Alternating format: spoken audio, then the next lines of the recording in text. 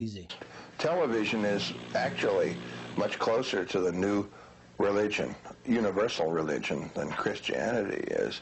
If the gods or the priests, the high priests of television, want to overnight, and it serves their purposes, they can or could eliminate Christianity as we know it. And uh, the influence of television is certainly far, far greater than the influence of traditional Christianity.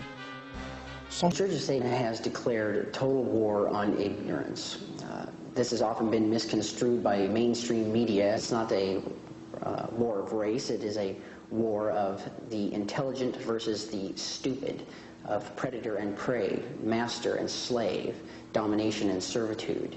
Um, Satan represents the powers of force in nature, and we feel that a cleansing of the idiot ideology of the pallid, incompetent Christ is uh, in order. And so uh, this is something that the Church of Satan is conducting on many different avenues.